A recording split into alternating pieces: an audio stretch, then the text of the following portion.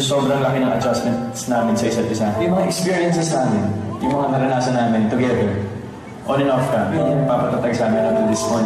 Madami kami natutunan sa isa't isa, and natututunan sa mga bagay na nangyayari sa amin. And we're really stronger together.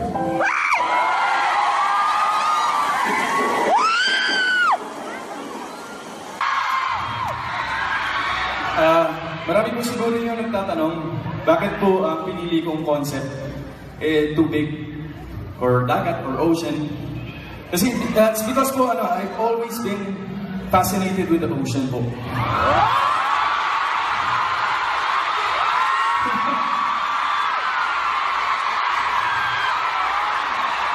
well, actually, late ako naging passive. Ngayon lang ako na passive.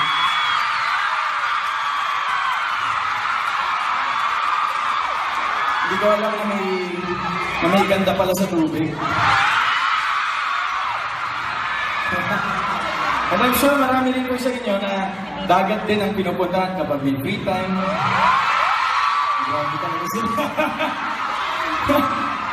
Para para makatakas sa trabaho.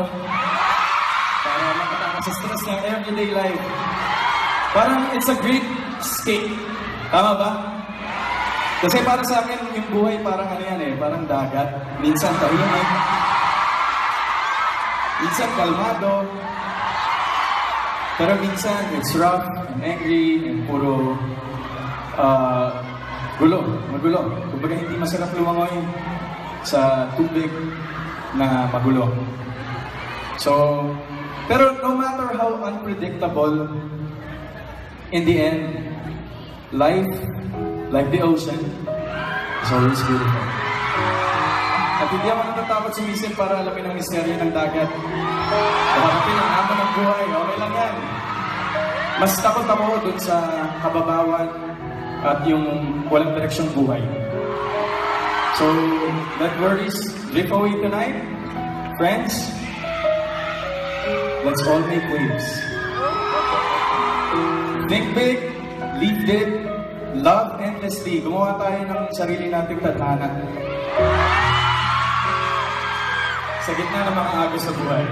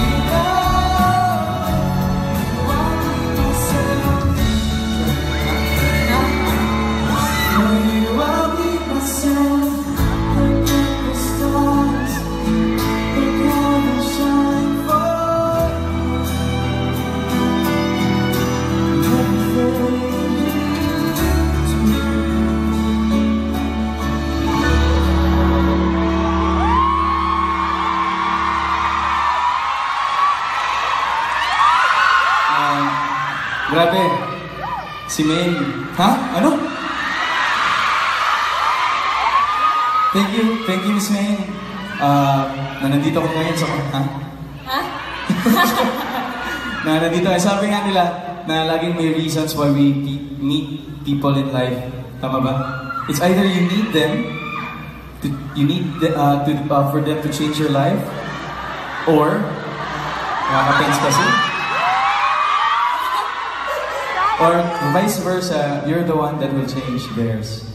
So, dumating sa dumating ka sa punto ng buhay ko na ayun, kalma lang lahat, yung chill lang lahat. Tapos, wala, binago.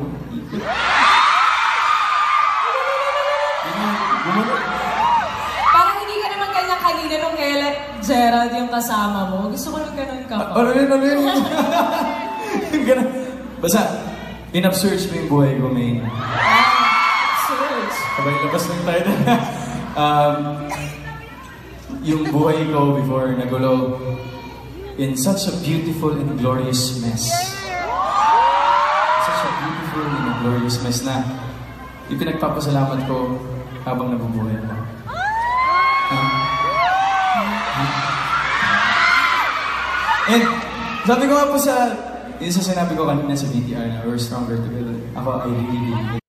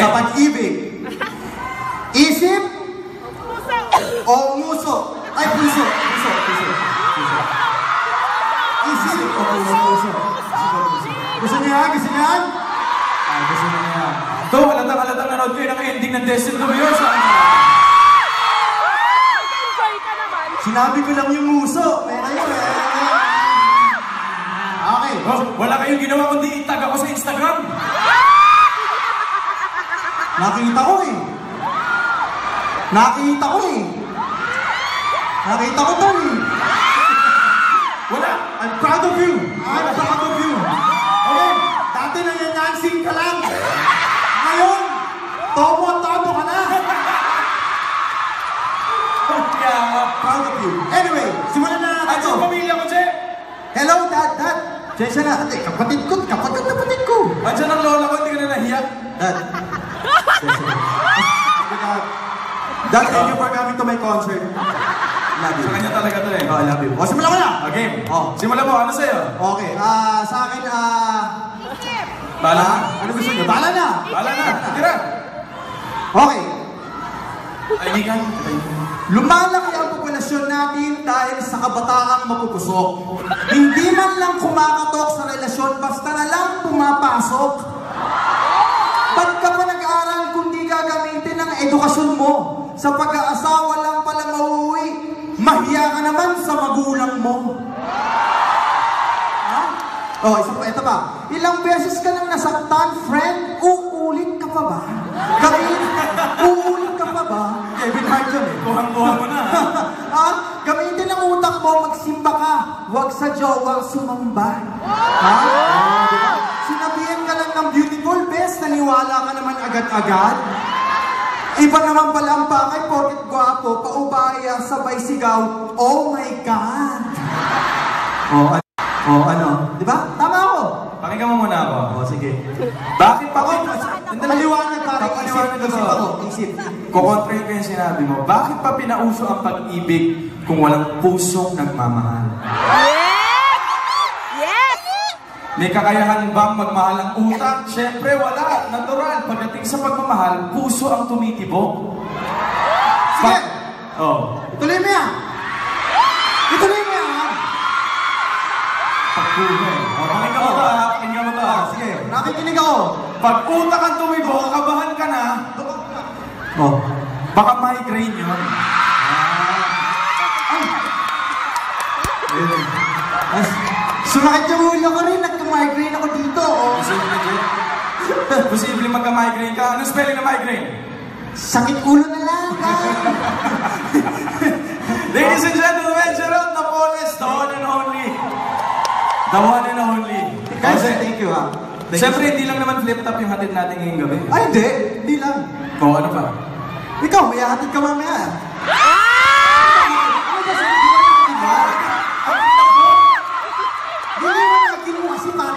backstage kasi iba yung kwentuhan natin. eh. Lan! Lan! Parang Pokemon. Gotta catch me, gotta catch me. okay. Okay, game. Nandito na dyan? Oh, nandito na ako. Ito na. Saan na ba yung mga binayaran ng backup?